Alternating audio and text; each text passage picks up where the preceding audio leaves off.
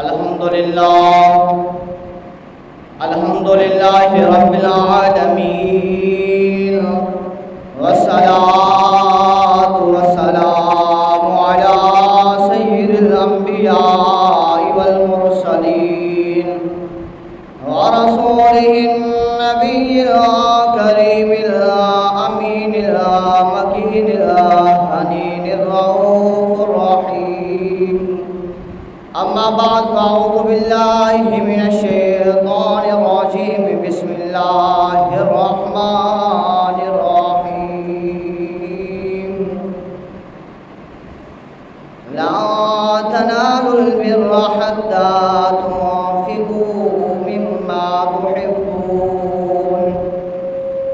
صدق الله العظيم وصدق رسوله النبي الكريم الأمين.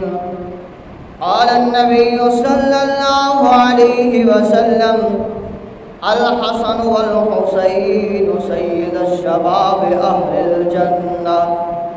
قال النبي صلى الله عليه وسلم الحسين مني وأنا من الحسين صدق الله العظيم وصدق رسوله النبي الكريم الأمين. إن الله وملائكته يصلون على النبي. يا أيها الذين آمنوا صلوا عليه وسلموا تسليما. اللهم صل على ومولانا وملجانا ومأوانا نبينا محمد صلى الله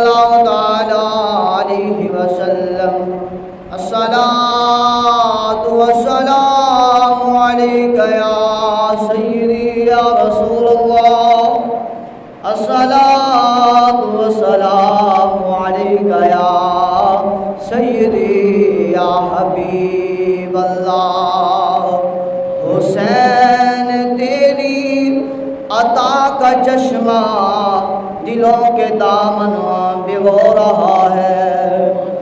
حسین، تیری عطا کا چشمہ دلوں کے دامن بگو رہا ہے۔ یہ آسماں پہ اداس بادل تیری محبت میں رو رہا ہے۔ حسین، تیری عطا کا چشمہ دلوں کے دامن بھگو رہا ہے۔ یہ آسماں پہ اداس بادل تیری محبت میں رو رہا ہے سبا بھی گزرے جو کربلا سے اسے کہتا ہے عرش والا تو اور دھیرے گزر یہاں سے میرا حسین سو رہا ہے میرا حسین سو رہا ہے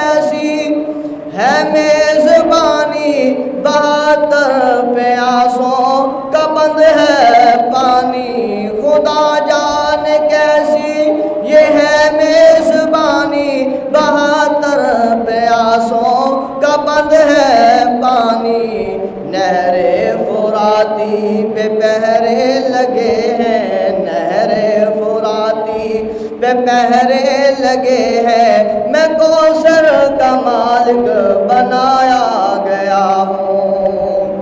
ہے بابا علی، ماں میری فاطمہ ہے۔ ہے بابا علی، ماں میری فاطمہ ہے۔ میں بھائی حسن کا نانا خیر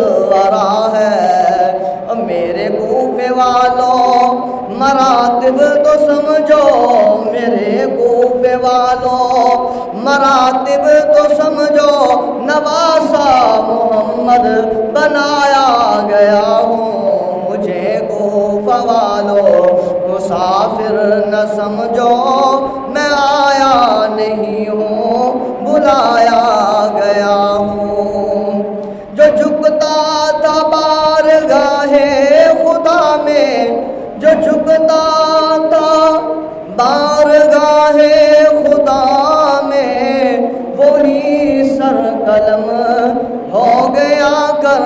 کربلا میں جو جھکتا تھا بارگاہ خدا میں، وہی سر قلم ہو گیا کربلا میں۔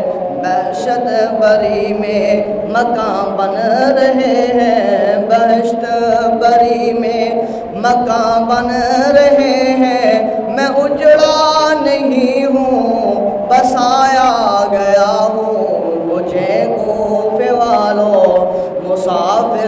سمجھو، میں آیا نہیں ہوں، بلایا گیا ہوں۔ امیدین اسلام دکھا بے دی رکھ پاک حضور بنیاد۔ امیدین اسلام دکھا بے دی رکھ پاک حضور بنیاد دد پتر بھرا سب راہ خدا ان لایا بہو احسان حسین تے جڑا خرچ تھیا وچ کربل دے او لجپال حسین کو یاد تائیوں سال برابر وچ کربل دے تائیوں سال برابر وچ کربل دے ردرنا پیر سجا دے امیدین اسلام دے کعبے دی رکھی پاک حضور بنیاد تین اسلام دی چار دیواری تے لگڑا دی بین برا دے تے دیتی بی بی جوڑی چھت کی تے تے کیتا فرش رنگین سجا دے او دین اسلام دی چار دیواری وچ اج ہر مسلم آباد ہے چراغ دین کا جلایا حسین نے رسم وفا کو خوب نبھایا حسین نے۔ خود نے تو ایک قطرہ پانی کا نہ پیا، پر اے کربلا تجھے خون پلایا حسین نے۔ حسین تیری شان تو صدقے، حسین تیرے مقام تو صدقے، حسین تیری عظمت تو صدقے، حسین تیرے صبر تو صدقے کہ تو نے اپنا علی اکبر بھی اللہ کی پاک بارگاہ میں قربان کیا۔ تو نے اپنا علی اصغر بھی اللہ کی پاک بارگاہ میں قربان کیا۔ تو نے اپنے بھائیوں کو اللہ کی پاک بارگاہ میں قربان کیا۔ تو نے اللہ کی بارگاہ میں اپنے بھانجوں کو قربان کیا، اپنے بھتیجے کو قربان کیا، اپنے بھائی غازی عباس کے بازو کٹوائے تاکہ اللہ تبارک و تعالیٰ کا نام بلند رہے، تاکہ محمد رسول اللہ صلی اللہ علیہ وسلم کا دیا ہوا پرچم پرچم اسلام بلند رہے۔ اے حسین، تیری عظمت پر لاکھوں سلام ہے اے حسین تیری شجاعت پر لاکھوں سلام ہے۔ تیری شان کہ تیرا بچپن بھی آلہ تیری شان کہ تیری جوانی بھی آلہ تیری شان تیرا بڑھاپا بھی آلہ تیری شان تیری جوانی بھی آلہ تیرا بڑھاپا بھی آلہ اور تیری شہادت بھی آلہ۔ تیرا بچپن ہے اللہ تبارک و تعالی۔ تیری شہادت کی خبر تیرے نانا محمد رسول اللہ صلی اللہ علیہ وسلم کو دے دیتے ہیں۔ اے میرے محبوب پیغمبر، یہ تیرا نواسا فلاں جگہ پر، فلاں زمین پر۔ دین اسلام کی خاطر، دین اسلام کی بقا کی خاطر قربان ہو جائے گا۔ حسین، تیرا بچپن ہے۔ ابھی تو اپنے نانا کی گود میں کھیل رہا ہے۔ تیری شہادت کی خبر آن پہنچتی ہے۔ ابھی تیری بچپن بھی ہے۔ ابھی چھ سال کی عمر ہوتی ہے۔ وہ نانا جو کندھوں پر سوار کرتا ہے، وہ نانا جو زبان اقدس کو چوستا ہے، وہ نانا جو اپنی زبان اقدس کو تیرے لبوں میں رکھتا ہے، وہ نانا جو تیری پیشانی کو چومتا ہے، تیری گردن کو چومتا ہے، تجھے سونگتا ہے اور فرماتا ہے، الحسین منی وانا من الحسین۔ حسین تو مجھ سے ہے، میں حسین سے ہوں۔ فرمایا وہ جس نے فرمایا الحسن والحسین سید الشباب اہل الجنہ۔ اے میرے محبوب پیغمبر صلی اللہ علیہ وسلم، ہم نے آپ پر انعام و اکرام کے طور پر آپ کے نواسوں کو، آپ کے بچوں کو جنتی نوجوانوں کا سردار بنا دیا ہے۔ یہ حسین کا بچپن ہے، آپ کا بچپن، آپ کا بچپن اعلیٰ۔ آپ کھیل رہے ہیں، آپ کا کھیلنا اعلیٰ، آپ چل رہے ہیں، آپ کا چلنا اعلیٰ۔ آپ اگر بیٹھے ہیں، آپ کا بیٹھنا اعلیٰ۔ اگر آپ گفتگو کر رہے ہیں، تو آپ کی گفتگو اعلیٰ۔ اگر آپ جو ہے کسی کو سمجھانا چاہتے ہیں، تو آپ کا سمجھانا اعلیٰ۔ آپ کی سوچ اعلیٰ۔ آپ کی سمجھ اعلیٰ، آپ کی رفت بلندی اعلیٰ کہ آپ کے سامنے اگر ایک بزرگ آئے، سفید بالوں والا آئے، سر کے بھی سفید بالوں ہوں، داڑھی کے بھی سفید بال ہوں، کمر جھکی ہو اور وضو کر رہا ہو، اور وضو کرتے ہوئے اگر اس وضو میں کمی رہ جائے، حسین تیرے سمجھانے سے صدقے کہ وہ حسین جو اس بابا کی انگلی پکڑ کر تھام کر کہے، بابا آئیے، ذرا بیٹھیے، دیکھیے، میں حسین بھی وضو کرتا ہوں، میرا بھائی حسن بھی وضو کرتا ہے۔ بابا، آپ دیکھیے، ہم دونوں میں سے اعلیٰ افضل کس کا وضو ہے؟ ستھرا وضو کون کرتا ہے؟ اچھا وضو کون کرتا ہے؟ کامل وضو کون کرتا ہے؟ خوبصورت وضو کون کرتا ہے؟ احسن طریقے سے وضو کون کرتا ہے؟ قربان جائیں حسین تیری شجاعت پر، تیری سمجھ پر، تیرے سمجھانے پر کہ کتنا پیارا انداز تو نے اپنے بچپن میں ہی بتایا ہے۔ حضرت حسین علیہ السلام اس بابا کو کہتے ہیں، بابا آئیے، آپ ادھر بیٹھیے، آپ دیکھیے، میں حسین وضو کرنے لگا ہوں، آپ دیکھیے، میرا بھائی حسن وضو کرنے لگا ہے، ہم دونوں میں سے اعلیٰ اور اچھا وضو کس کا ہے؟ حسین کے سمجھانے سے صدقے جائے۔ حضرت حسین علیہ السلام وضو کرنے کے لیے سامنے بیٹھتے ہیں۔ حضرت حسن پاک وضو کرنے کے لیے سامنے بیٹھے ہیں۔ وہ بابا جس نے وضو غلط کیا ہے، جس کا وضو ناقص ہے، جس کے وضو میں کمی ہے، جس کے وضو میں کجی ہے وہ بابا سامنے دیکھ رہا ہے۔ حسن وضو کرتے ہیں، بابا دیکھتا ہے۔ حسین وضو کرتے ہیں، بابا دیکھتا ہے۔ حسن پاک مسکراتے ہیں اور عرض کرتے ہیں، بابا دیکھیے، ہم دونوں میں سے وضو کس کا اچھا ہے؟ حسین بھائی کہتے ہیں، بابا بتائیے ہم دونوں بھائیوں میں سے اچھا وضو کامل وضو کس کا ہے؟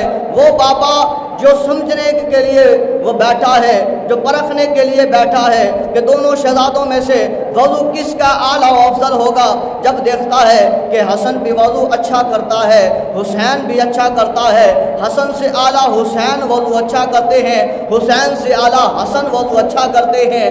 فوراً وہ بابا کیا اٹھتا ہے کہ اے میرے بچوں اے رسول خدا صلی اللہ علیہ وسلم کے نواسو اے نوجوان سردار جنت، سن لو، حسن تیرا بھی وضو آلہ ہے، حسین تیرا وضو بھی آلہ ہے، وضو میں کمی میری ہے، میں اپنا وضو دوبارہ کرتا ہوں۔ اے شہزادو، دیکھو، حسن آپ بھی دیکھیں حسین، آپ بھی دیکھیں، کیا میں تمہاری طرح وضو کرتا ہوں کہ نہیں کرتا؟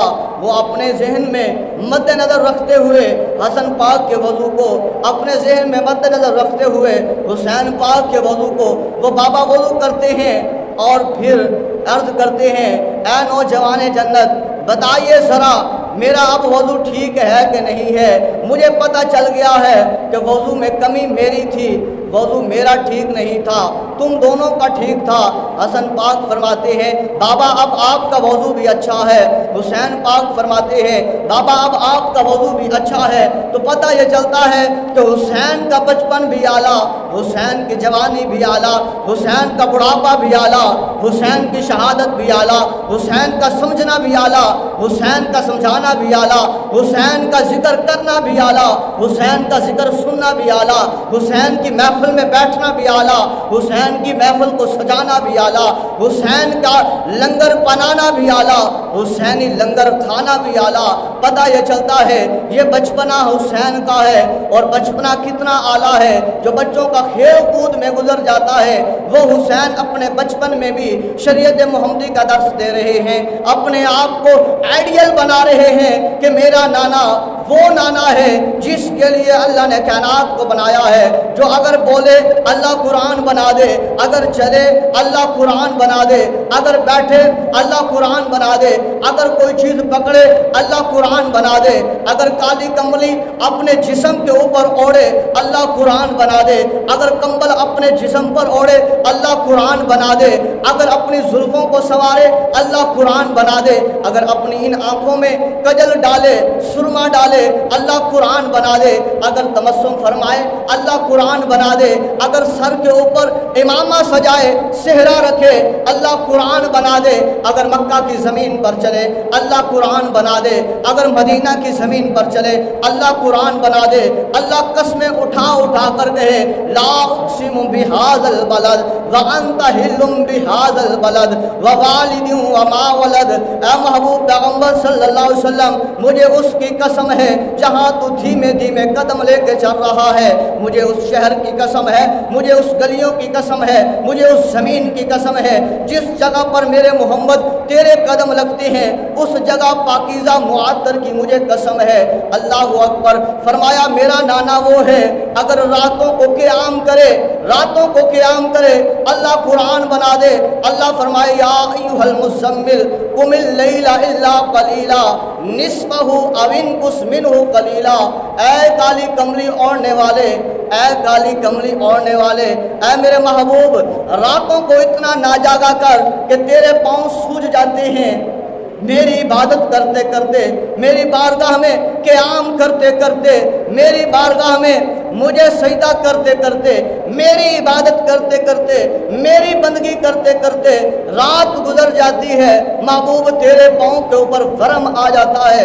اے میرے محبوب، رات کا کچھ حصہ میری عبادت کے لیے کر لے اور کچھ حصہ آرام کرنے کے لیے مختص کر لے۔ فرمایا کم اللیلہ الا قلیلا اس کا کچھ حصہ فرمایا، اگر اس سے بھی زیادہ عبادت کرنی ہے، تو میرا محبوب نصفہ اوین کس منہ قلیلا۔ پھر ایسا کر، آدھی رات میری عبادت کر اور آدھی رات بستر پر آرام کر۔ فرمایا، حسین نے، میرا محبوب، میرا نانا وہ ہے۔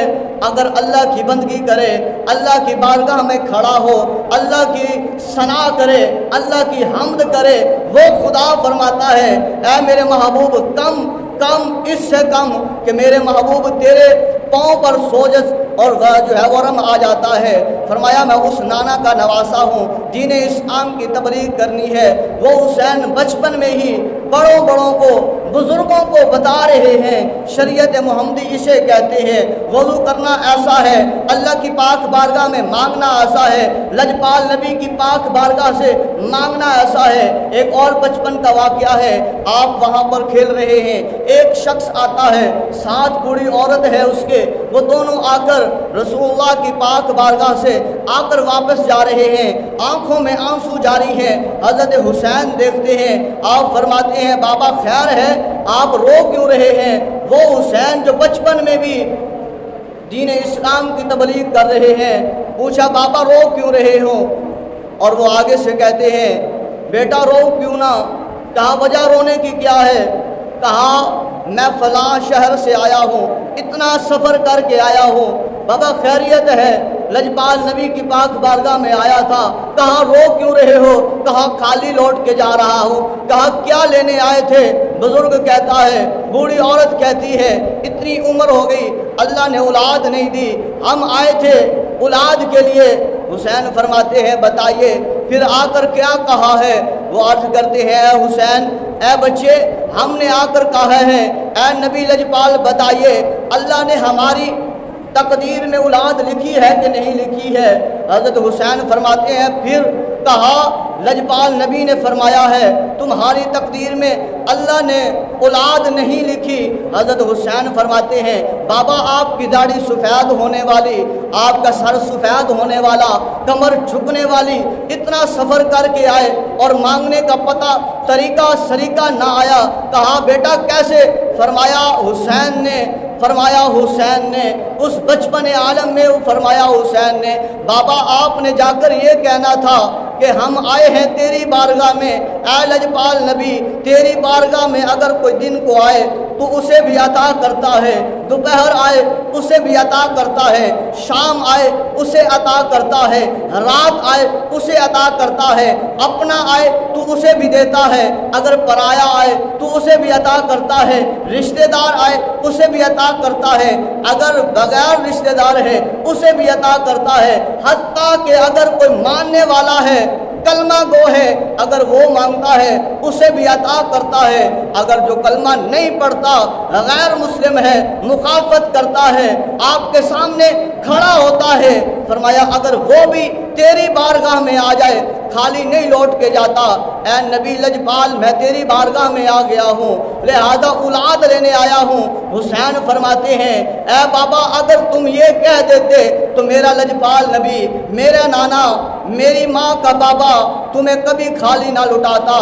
اس کائنات میں اللہ کے بعد جو ہستی اللہ نے جو فرمائی ہے، وہ نبی پاک صلی اللہ علیہ وسلم کی ہے۔ وہ جو اللہ کی پاک بارگاہ سے مانگے، اللہ تبارک و تعالی خالی نہیں لٹاتے، بلکہ اللہ تبارک و تعالی نے سارے خزانوں کی کنجیاں نبی لجپال نبی کو دے دی ہیں، میرے نانا جان کو دے دی ہیں۔ اگر تو یہ مانگتا تو میرا یقین تھا کہ تو خالی نہ لوٹتا۔ اور حسرت لے کر تمنا لے کر رو رو کے واپس نہ جا رہا ہوتا۔ پھر خیال آیا، حسین اتنا بچپن ہے اور اتنی پاکیزہ بات کی ہے، اتنی دانائی والی بات کی ہے، اتنی علم والی بات کی ہے۔ کہا، آؤ دوبارہ چلتے ہیں لجپال نبی کی بارگاہ میں۔ دوبارہ اسی طرح مانگتے ہیں، جیسے حسین نے بتایا ہے، جیسے اس بچے نے بتایا ہے۔ حسین فرماتے ہیں، بابا، اب وہاں جانے کی ضرورت نہیں۔ ابھی یہی گھر پر جو ہے وہ موجود رہو۔ ہو، ادھر سے حسن پاک قریب ہوتے ہیں، فرماتے ہیں، اے بھائی جان، یہ واقعہ ہے۔ حسن پاک فرماتے ہیں، ٹھیک ہے، پھر اللہ کی بارگاہ سے انہیں کیوں نہ ہو اولاد لے کے دیں؟ بتایا جاتا ہے مورخ لکھتے ہیں۔ حسن پاک کہتے ہیں، اللہ اسے ایک عطا فرما۔ حسین پاک فرماتے ہیں، اللہ اسے دو عطا فرما۔ حسن پاک کہتے ہیں، اللہ اسے تین عطا فرما۔ حسین پاک کہتے ہیں، اللہ اسے چار عطا فرما۔ حسن پاک کہتے ہیں، اللہ اسے پانچ عطا فرما۔ حسین پاک کہتے ہیں، اللہ اسے چھ عطا فرما۔ حسن پاک کہتے ہیں، اللہ اسے سات عطا کر۔ حسین پاک ابھی بولنے لگتے ہیں وہ بابا وہ بزرگ آگے بڑھ کر حسین پاک کی بارگاہ میں ہاتھ جوڑ کر عرض کرتا ہے، اے حسین لجپال، اے سخی گرانا، میں مان گیا ہوں، میرے لیے یہ ساتھ ہی بہت ہے۔ فرمایا جاتا ہے، اللہ تبارک و تعالی حسن اور حسین کے بچپن کے عالم میں مانگی ہوئی دعا قبول فرمائی اور اللہ تبارک و تعالی نے اس بندے کو یکے بعد دیگر سات بیٹے عطا فرمائے ہیں۔ یہ ہے لجپال نبی کے نواسوں کا ہی بچپنا۔ کہ بچپن میں بزرگ کو سکھانا ہے تو ٹوکا نہیں ہے، روکا نہیں ہے۔ یہ نہیں کہا یہ غلط ہے۔ ادب ملود خاطر کا ادب پہلا کرینہ ہے۔ سید ذات تمام لوگوں سے، باقی ساری برادریوں سے افضل والا شان والے ہیں۔ لیکن جو درس نبی لجپال نے دیا ہے اس مطابق جنہوں جو چلے ہیں، جنہوں نے لجپال نبی صلی اللہ علیہ وسلم کی تعلیمات پر عمل کیا ہے، پھر ان کی شان بھی نرالا ہے۔ ان کا طریقہ، ان کا انداز ہی اعلیٰ ہے۔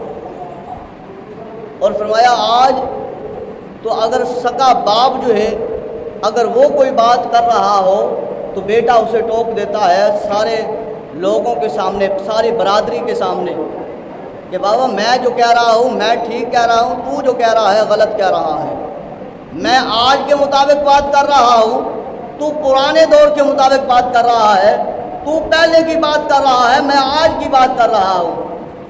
اور الفاظ زبان سے ایسے نکالے جاتے ہیں ایاز باللہ، اللہ تعالیٰ معاف فرمائے، کہ بابا میرا سٹیا گیا ہے، اسے سمجھ ہی نہیں ہے، اسے اب بولنے کا پتہ ہی نہیں ہے، اسے طریقہ ہی نہیں ہے۔ سکے باپ کو کہہ رہے ہیں، جس کے لیے اللہ قرآن میں فرماتا ہے اف ولا تن ہر ہوما اگر تمہارا باپ تمہیں کچھ کہہ دے چڑک دے، تو فرمایا اس کے سامنے اف بھی نہ کرو۔ اس کو یہ الفاظ کہہ رہے ہیں۔ تو ادھر سخی گھرانہ حسین ہے۔ سخی گھرانے کا فرد اس باغیچے کا پھول ہے، اس باغیچے کی کلی ہے، جس کے لیے اللہ نے کائنات کو بنایا ہے۔ وہ ایک عام بزرگ کو ایک عام بزرگ کو بتا رہے ہیں کہ بابا وضو ایسے کرتے ہیں جیسے ہم کر رہے ہیں، یہ دیکھیں، یہ طریقہ ہمارا ٹھیک ہے یا نہیں؟ یہ نہیں کہا کہ ہمارے طریقے پر ہی چلو۔